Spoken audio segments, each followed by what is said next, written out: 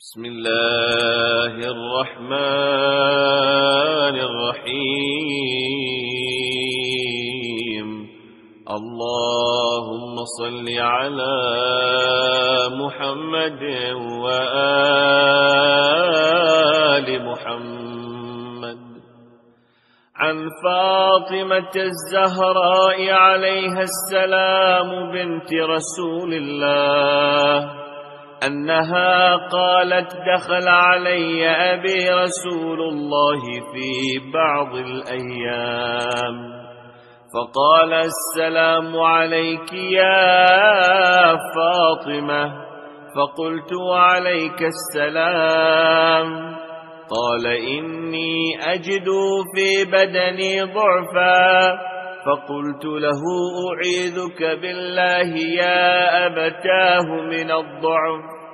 فقال يا فاطمة ائتيني بالكساء اليمان فغطيني به. فأتيته بالكساء اليمان فغطيته به.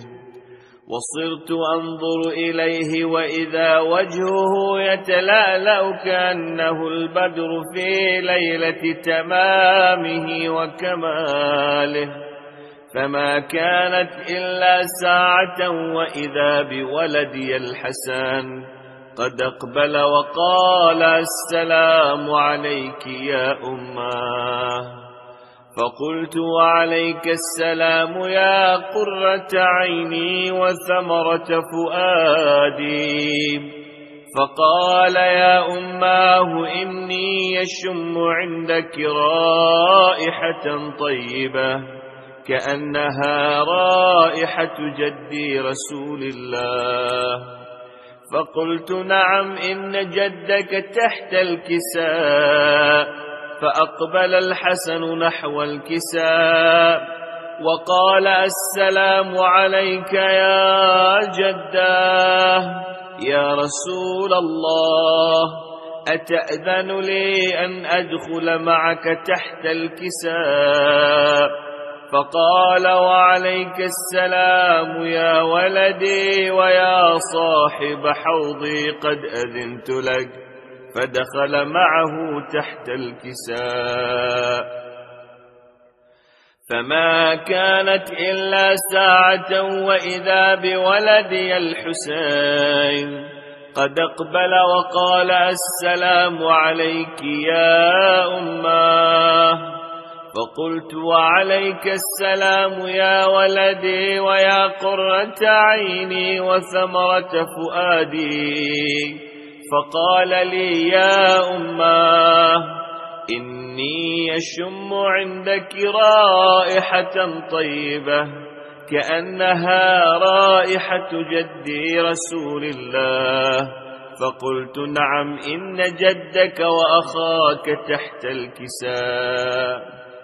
فدنا الحسين عليه السلام نحو الكساء. وقال السلام عليك يا جداه السلام عليك يا من اختاره الله. أتأذن لي أن أكون معكما تحت الكسام؟ فقال وعليك السلام يا ولدي ويا شافع أمتي قد أذنت لك.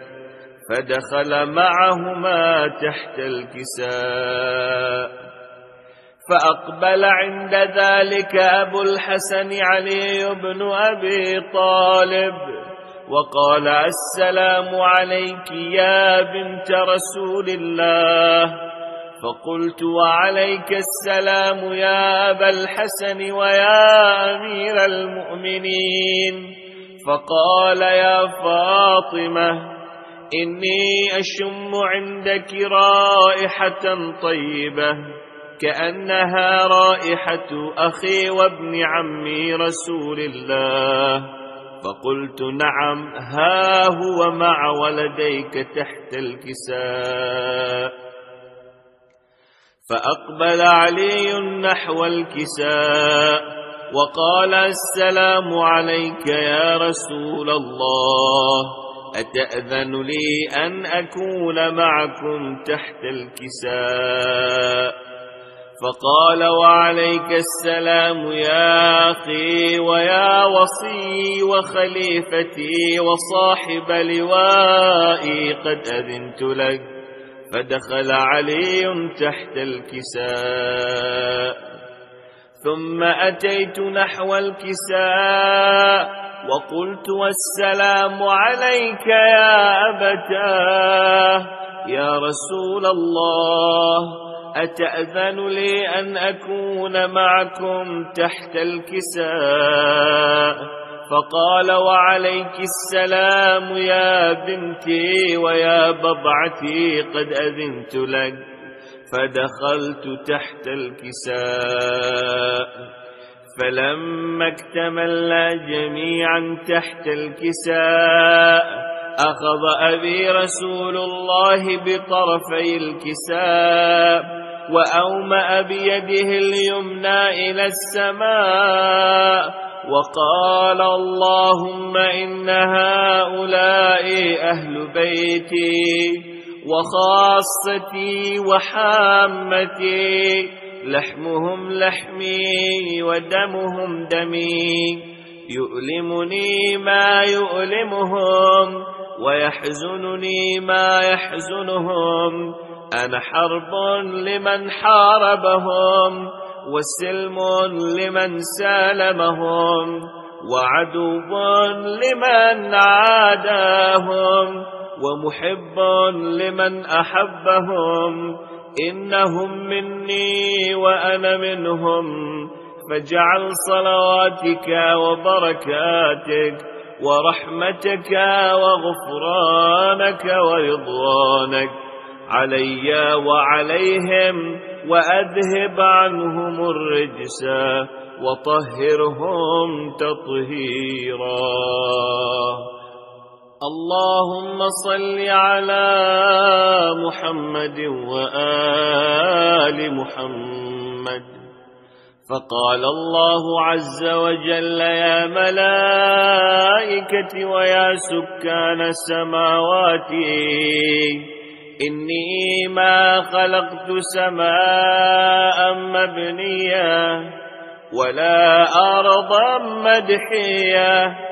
ولا قمرا منيرا ولا شمسا مضيئة ولا فلكا يدور ولا بحرا يجري ولا فلكا يسري إلا في محبة هؤلاء الخمسة الذين هم تحت الكساء. فقال الأمين جبرائيل يا رب ومن تحت الكساء؟ فقال عز وجل هم أهل بيت النبوة ومعدن الرسالة هم فاطمة وأبوها وبعلها وبنوها. اللهم صل على محمد وآل محمد. فقال جبرائيل يا رب يتأذن لي أن أهبط إلى الأرض لأكون معهم سادساً؟ فقال الله نعم قد أذنت لك. فهبط الأمين جبرائيل. وقال السلام عليك يا رسول الله العلي الأعلى يقرأك السلام ويخصك بالتحية والإكرام ويقول لك وعزتي وجلالي إني ما خلقت سماء مبنية ولا أرضا مدحية. ولا قمرا منيرا ولا شمسا مضيئة ولا فلكا يدور ولا بحرا يجري ولا فلكا يسري إلا لأجلكم ومحبتكم. وقد أذن لي أن أدخل معكم فهل تأذن لي يا رسول الله؟ فقال رسول الله وعليك السلام يا أمين وحي الله. إنه نعم قد أذنت لك. فدخل جبرائيل معنا تحت الكساء. فقال لأبي إن الله قد أوحى إليكم. يقول إنما يريد الله ليذهب عنكم الرجس أهل البيت ويطهركم تطهيرا. اللهم صل على محمد وآل محمد. فقال علي لأبي يا رسول الله أخبرني ما لجلوسنا هذا تحت الكساء من الفضل عند الله.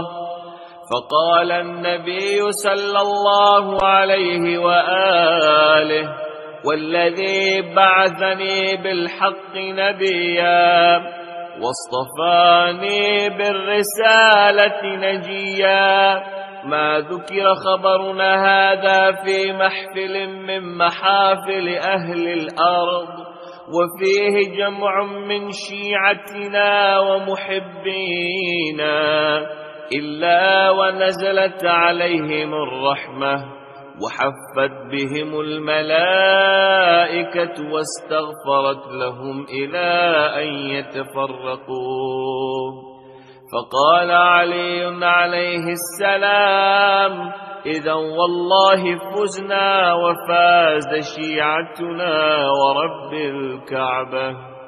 فقال أبي رسول الله صلى الله عليه وآله يا علي والذي بعثني بالحق نبيا واصطفاني بالرسالة نجيا. ما ذكر خبرنا هذا في محفل من محافل أهل الأرض وفيه جمع من شيعتنا ومحبينا وفيهم مهموم إلا وفرج الله همه ولا مغموم إلا وكشف الله غمه.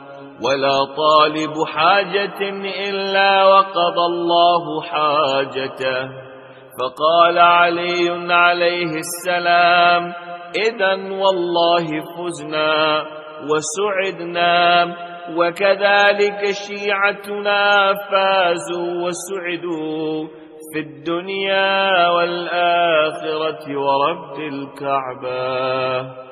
اللهم صل على محمد وآل محمد.